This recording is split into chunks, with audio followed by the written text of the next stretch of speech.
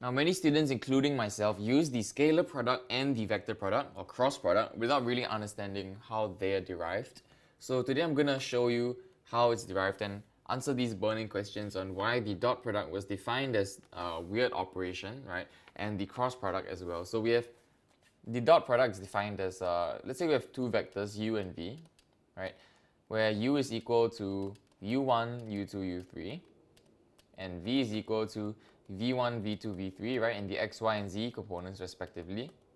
Right, u dot v we get u1, v1 plus u2, v2 plus u3, v3. So essentially what you're doing is you're multiplying the x components with the x components y and y and z and z, right? And summing all of them up as one sum. So we first need to define what the scalar product is before telling us why this dot over here represents this operation here. So the scalar product is when you have two vectors uh, on the same plane, let's say we have u and v, right, making an angle with theta with one another. So we have a triangle formed by u, v, and on the other side it's u minus v. So it doesn't really matter whether it's u minus v or v minus u because you're going to take the modulus, right, which is the exact length of the uh, the length, the, the size of the triangle, and you're going to plug in the cosine rule in order to get the cosine theta out. So we have, so let's use the cosine rule. We have uh, modulus u squared plus modulus of v squared minus 2uv cosine theta is equal to modulus of u minus v whole thing squared. Right, so when you have modulus of a mod, so when you have a modulus, sorry, when you have a square of a modulus, right, essentially what you're doing is you are removing the square root. So a modulus is equal to square root of uh, x component squared, y component squared, z component squared. Right, the Pythagoras theorem. So we have when we, when we have a square of the modulus, we remove the square root, essentially giving us the sum of these squares of the individual components x, y, z. Right, so upon simplification, we have u1 squared plus u2 squared plus u3 squared plus v1 squared plus v2 squared plus v3 squared minus 2 times u v cosine theta. So I'm, I'm leaving the modulus u and v in this form. So because it looks like the final product, so I'm gonna I'm not gonna touch it. And uh, on the right hand side we have uh, u minus v squared. So it's u1 minus v1 squared plus u2 minus v2 squared plus u3 minus v3 squared. Alright, so I'm going to simplify the right hand side. We get u1 squared plus v1 squared minus 2 times u1 v1 plus u2 squared plus v2 squared minus 2 times u2 v2 and same thing for u3 v3 right really verbal diarrhea here. 2 times u3 v3 right so now let's do the cancellations. On the left hand side we have the squares of u which is u1 u2 u3 and for v we have v1 v2 v3 so that leaves out that leaves us with uh, something that's really looking more and more like what we want is equal to minus 2 u1 v1 minus 2 u2 v2 minus 2 u3 v3. So dividing by negative 2 we get the end result. And so we get u1 v1. We get something that looks like the scalar product, right? So this really smart guy, after, after coming up with the uh, simplification of the equation, he decided that this shall now be defined as the scalar product. So this is now defined as uh, u1, u2, u3 dot v1, v2, v3 and this dot shall be known as the scalar product. So u cross v is a little more complicated because this really smart guy defined the cross product as this mess over here. So the, the, final, the final function of the cross product is actually to uh, get this formula out. So it's modulus of u cross v is equal to the modulus of u modulus of v times sine theta.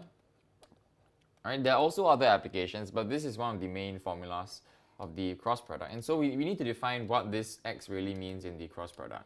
So the definition of the cross product is when we have two vectors, again u and v, uh, making an angle with theta with one another, right? They, there's, a, there's a vector that's perpendicular to both of these. So imagine it in 3D, right? This, this vector w, let's call it w, where it's equal to w1, w2, w3, is perpendicular to both u and v, right? If you can imagine it in 3D. And this gives rise to two, form, two equations, and that's u dot w is equal to 0 and v dot w is equal to 0. Right, because if you go back to the scalar product, we have uh, we have u u dot v is equal to uh, u modulus u modulus v cosine theta. Right, and that gives you uh, 0 when you have theta is equal to pi over 2. Right, you substitute this into the equation, you get left hand side is equal to 0. So that gives rise to two equations. So the first equation would be u1 plus, sorry, u1 w1 plus u2 w2 plus u3 w3 is equal to 0. And the second equation would be v1 w1 plus v2 w2 plus v3 w3 is equal to 0. And now I'm going to relate these two equations together via the first term. So that's the first equation times v1 uh, and you minus it with the second equation times u1. So we have uh, we have uh, the first term eliminates, right?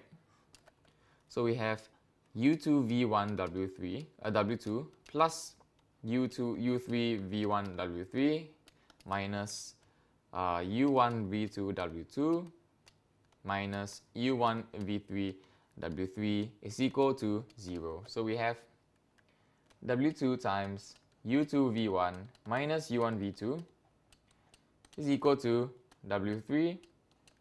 Uh, what's it equal to? We have U1 V3 minus U3 V1. Alright, so these terms inside the brackets look more and more like the terms of the cross product. So Let's not rush into that first. Let's, let's cross divide. So we have W2 is equal to W2 over U1 V3 minus U3 V1 is equal to W3 over U2 V1 minus U1 V2. So the first part of the uh, cross product solving is done. Uh, so this is the first simultaneous equation. So this is sort of like equation 3.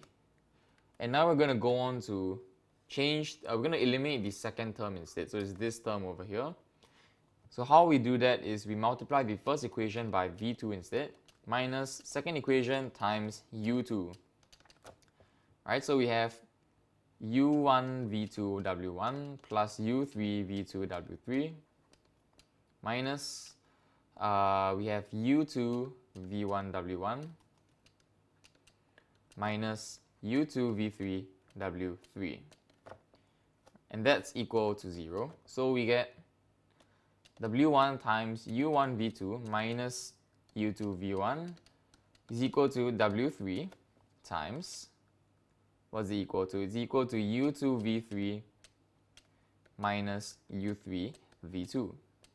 We want to make this equation look like this equation over here, right? So we have W1 over U2 V3 minus U3 V2 is equal to W3 over u1 v2 minus u2 v1. So that's the opposite of this one over here because it's u2 v1 minus u1 v2, right? They swapped around. So so the uh, the way to do it is to multiply both sides by negative 1. So let's multiply this by negative 1. We get w2 over u3 v1 minus u1 v3 is equal to w3 over u1 v2 minus u2 v1. Right, so now these, these two equations are now linked to one another, right? Because this can also be equal to w2 over u3 v1 minus u1 v3. And let's say all these constants, right? These are all constants and they're all equal to this number k where k where k is a real number we actually can express W, right? The components of W can now be expressed in terms of the constants up there. So we have W1, W2, W3 is equal to K times U2 V3 minus U3 V2. We have also have K times U1 V2 minus U2 V1.